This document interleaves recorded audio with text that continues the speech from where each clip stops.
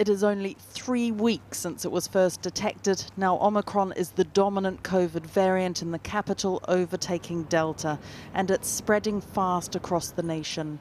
While it's still not known how severe it is, it is clearly highly transmissible. And today, another distressing record was broken 78,610 people tested positive. Ten days before Christmas, Yet another sobering Downing Street briefing from the Prime Minister and his advisers. The doubling rate of Omicron in some regions is now down to less than two days, and I'm afraid uh, we're also seeing the inevitable increase in hospitalisations, up by 10% nationally week on week, and up by almost a third in London. There was, too, a warning from the Chief Medical Officer over socialising in the run up to Christmas. I do think people should prioritise what matters, and that by definition means deprioritise other things.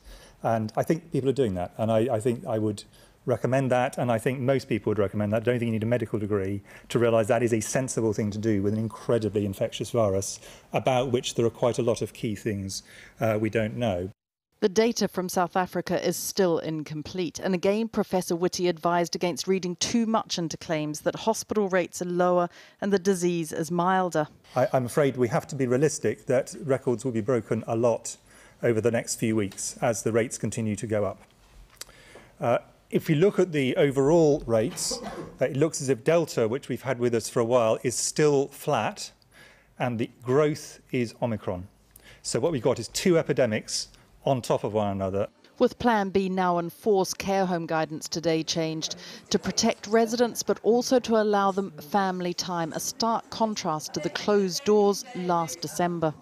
So from today, the residents can only have three named visitors each, plus one essential carer. And how's that going to be for them? Some of them will be okay. Um, those that have smaller families, not such extended families. We do have some residents that have, you know, quite large extended families, and it could be quite difficult for them to decide which three of those they particularly want to see, or even for the family to decide which three get the opportunity to come and see mum or dad and who doesn't.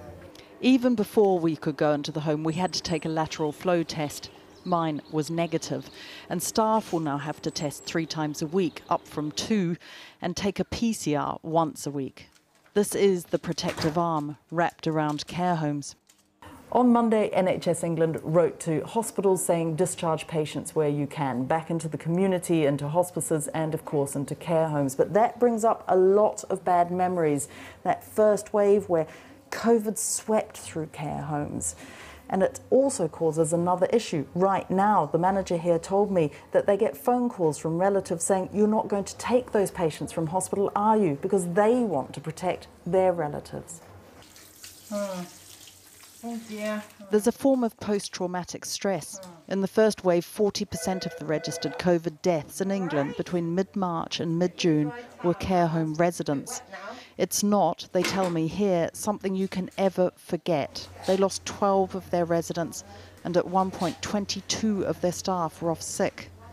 Do you understand the need for the new regulations? I think it's really important that uh, we stick to the regulations and it makes it easier for everyone. Um, and they're very clear each and every time you phone up what it is that they're expecting of you. Um, and again, I, I, quite like that, even though, of course, it, it might feel a little bit annoying.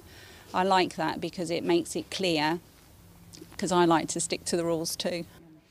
The government itself is resisting further rule changes, placing a heavy reliance on the booster programme with the call today for more volunteers, described by the Prime Minister as an emerging territorial army of the NHS and a race against time get those jabs in arms and save lives.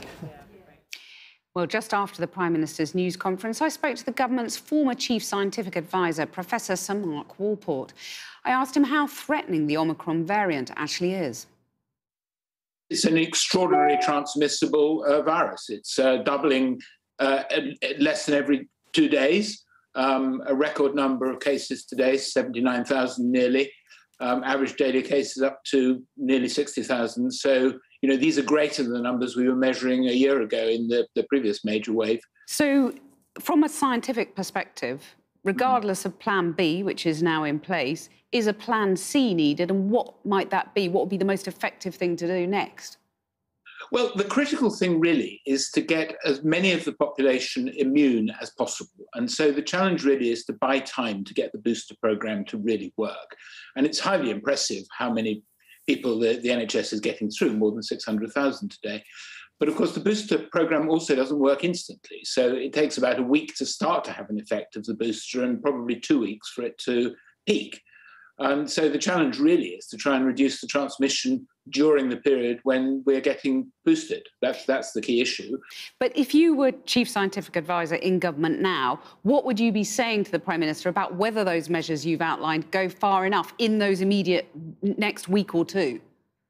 Well, I think it's perfectly clear from the demeanour of the Prime Minister and the Health Secretary that they are well aware of the potential consequences. And obviously, the challenge is that hospital admissions are starting to go up, particularly in London, where uh, the Omicron variant is now the dominant variant. And of course, the challenge is that it's then, you know, it's a week from a case being identified to actually the risk of ending up in hospital, sometimes a bit longer. But only and a few so, days uh, ago, the Prime Minister was saying, you know, still go ahead and go to Christmas parties. Well, I mean, I think the, you know, the, the, the, the scientific advice is that there is the risk of a very significant uh, wave of admissions to hospital. It would be very difficult to stop it completely because this virus is so transmissible. Um, and even if it is a bit less serious than previous variants, and there's no doubt there is quite a lot of population immunity now, so we are in a much better place.